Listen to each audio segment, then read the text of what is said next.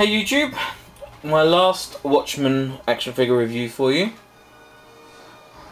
And I saved the best till last. We have the immense Dr. Manhattan. He is up in the corner there as well. And what a great figure he is. Really, really good figure. Um, now, he comes with stand like all the others.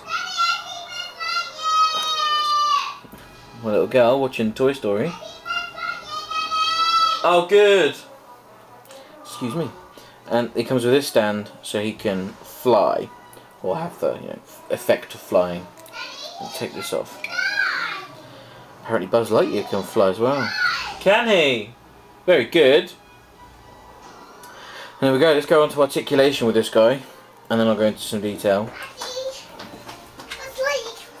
Very good. Thank you. I'll come and have a look in a second doing quite a few reviews this afternoon, so she's probably a bit fed up. Articulation wise, his head does go all the way around, and then you've got shoulder, which you get the movement to go all the way out, and it goes all the way around, and then there. The hands are stuck in a pose, um, like that, to, to kind of match his oh thing. Um, there is no articulation in the legs or the. Oh my god, I just broke it. no, I'm just joking, and I'm sure you know that I'm just joking if you've watched any other reviews of him. Um, this is the box. I haven't shown any of the boxes before. They are right, quite nice boxes though. Um, they're all the same, just with a different picture on the side there. Uh, it's not really, there's no bio here, this is just uh, giving you an idea of what is, what Watchmen's about. Apparently it's a complex, multi-layered mystery adventure. Um, open this up. Yeah.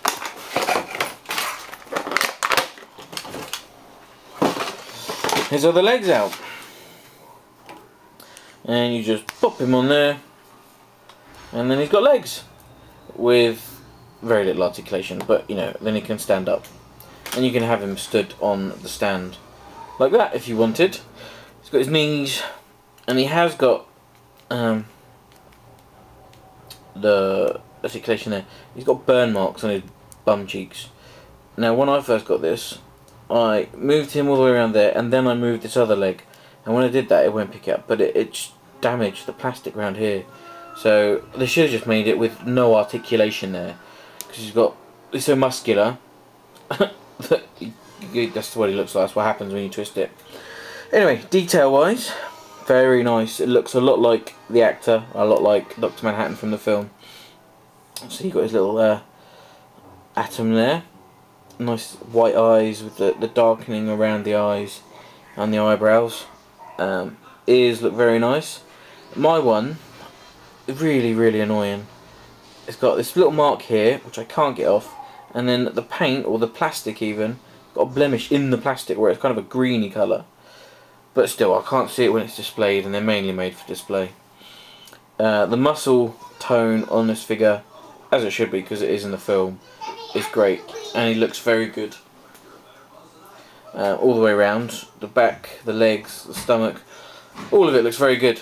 The legs that he stands on I don't know if it'll pick it up but there's it's a little loose it, it doesn't fit in there nicely. And I think it's mainly because of this bit that's missing there. Because on floating legs it's a solid piece and it fits in a lot stiffer. Um, I have him displayed on this with with like that. Floating like that zoom out for you. Him displayed like that and I think he looks really good. Um, and I have him over here at the back displayed with everybody like that. And it comes out really nicely. So I'm really pleased with them. Like I said I got all these guys as a set for £28 with postage I'm going to put a link up to the shop on eBay where I got these from. So if anybody wants to try and see if they can get them as a set again, you can do that. But um, yeah, thank you very much for watching. Check out my other videos. Check out the link. Thank you very much YouTube and goodbye.